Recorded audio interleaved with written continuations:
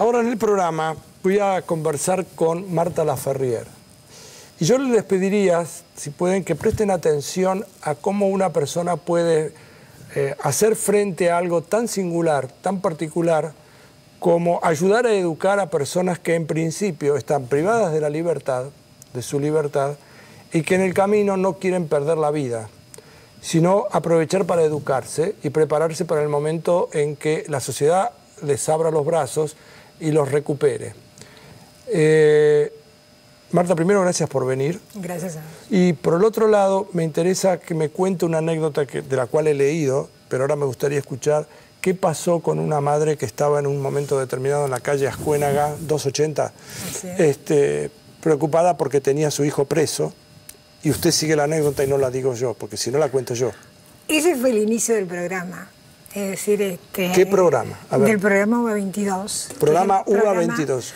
Programa UBA 22, que es el programa que tiene la Universidad de Buenos Aires en las cárceles. En las cárceles, concretamente las cárceles federales. Y este programa comienza con una cárcel en particular, que es la cárcel de Devoto.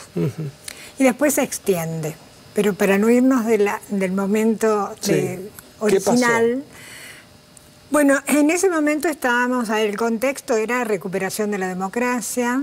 Año 85. Año 85. Estábamos en plena este, recuperación de las instituciones, de la democracia. Se estaba armando en la Universidad de Buenos Aires, esto es en el año eh, concretamente 84, el ciclo básico común. Yo participaba del armado de esa, de esa experiencia. ¿Usted volvía de Venezuela? Yo volvía de Venezuela. ¿Cuánto tiempo estuvo en Venezuela? Diez años. Diez años. ¿Exilada? Sí. Bien. Vuelve a la Argentina y empieza a formar Vuelvo parte... a la Argentina y comienzo inmediatamente a seguir con mi vida universitaria que había comenzado en Córdoba, después en Venezuela y acá en la universidad. Y bueno, le digo, estábamos allí en un espacio que era Escuénaga 280, era tal la cantidad de cosas que había para hacer que y además había muy poco lugar, razón por la cual estaba yo viendo unos currículum en las escalinatas de Ascuénaga.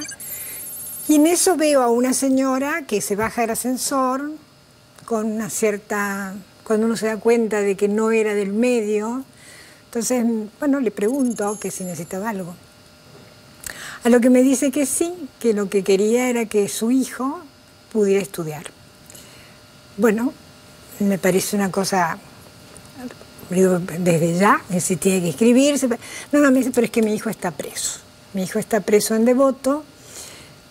Y ahí en ese mismo instante, eh, bueno, desde ya que le garantizo que su hijo iba a estudiar, pero me pareció que era una excelente oportunidad para llevar la universidad a la cárcel. Es decir, no solamente garantizar el derecho a estudiar, que es un derecho, como usted decía recién, es decir, eh, ellos están privados de su libertad, pero de su libertad ambulatoria. Todo el resto de las otras, de los otros derechos no tienen por qué estar inhibidos, ¿no? A la salud, a, la educación. A la educación. Entonces, bueno, así fue como me dirijo a hablar con el que era en ese momento director del ciclo básico común, pensando que la experiencia podía comenzar por allí, que era el doctor Luis Skolnik, que me dice, mira, me parece fantástico, decir, no, dale, si te animás, hay que hablar con el rector. En ese momento el rector era Francisco de Lich, que era el decano normalizador, el primer decano que tiene la democracia después de la dictadura. Y bueno, le comento eh, la idea de, esto, de poder llevar la universidad a la cárcel. Y ahí empieza, digamos, para hacer el puntapié inicial de lo que terminó siendo el programa. ¿Cuánta gente hay involucrada en este momento? Este Hablo de presos. Sí, sí. En este, sí, porque docentes somos, son muchos también. Eh, en este momento debe haber aproximadamente entre cursos curriculares y extracurriculares aproximadamente mil personas. ¿Mil personas en todo el país?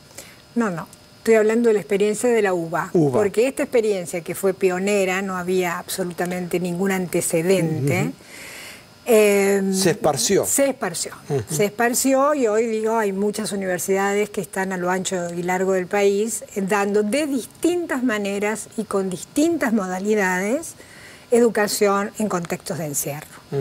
Particularmente la UBA tiene siete unidades académicas, eh, exactas, psicología, derecho, ciencias económicas, sociología, filosofía, eh, psicología, no sé si lo nombré, y por supuesto el CBC, eh, participando en el programa activamente, ¿no? no solamente en devoto, hemos tenido experiencias que al cerrarse unidades como la 16 y la 1 se cerraron y entonces nos trasladamos a los complejos. Y bueno, tenemos una actividad diaria.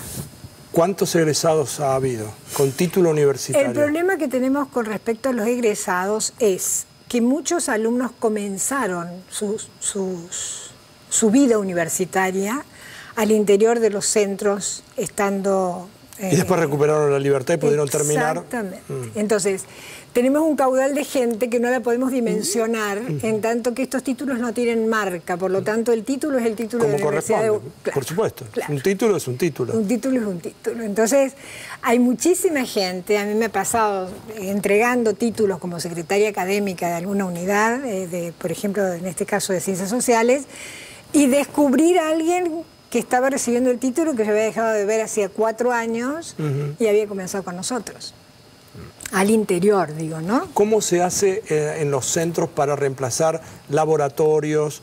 Eh, o sea, cuando hay una necesidad de salir al campo, ya o bien sea para ir a mirar con un microscopio o sea ir a recolectar pruebas para alguien que está haciendo antropología, no sé si todo lo que está contemplado, bueno, o eh, sociología. Acá está un tema también que es nosotros cuando pensamos este programa, que lo pensamos básicamente desde el campo de los derechos humanos, ¿no? Es decir, la idea nuestra es construir ciudadanía, reconstruir subjetividad, eventualmente entregar una herramienta, que es un mm. título universitario, que le sirva para su futura inserción en la vida libre.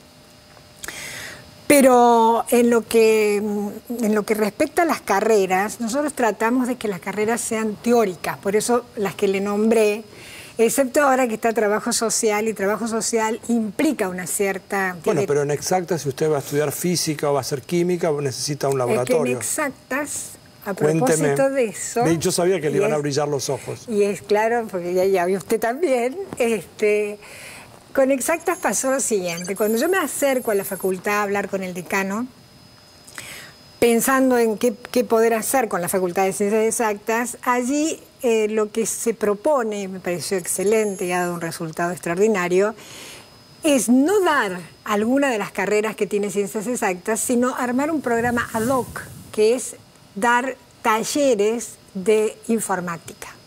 Entonces son cuatro niveles de informática con la seriedad que tiene ciencias exactas, para lo cual armó todo un programa, nombró una coordinación, otorgó un presupuesto y lo que hace exactas es aproximarse con talleres para ofrecer informática. Entonces, eh, ahí están los profesores que van, están las máquinas, bueno, están los técnicos y eso se puede hacer al interior del penal. Marta, tengo una pregunta concreta y es, digamos, por supuesto me baso en los datos que me dieron.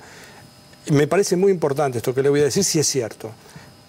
Las personas que egresaron de las cárceles, pero al mismo tiempo se recibieron hay, de acuerdo al número que escribí ahí, 80 y pico por ciento de la gente, casi un 90 por ciento, que no volvieron a ser reincidentes, o sea, no reincidieron.